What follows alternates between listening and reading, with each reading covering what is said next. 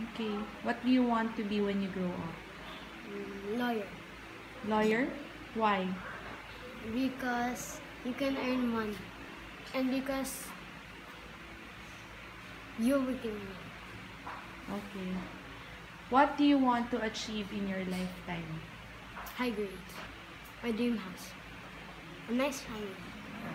A nice job. If you become a lawyer, what would you like to defend? Uh, my country. Your country? What else? My family. Your family first? Yeah, me too. Friends.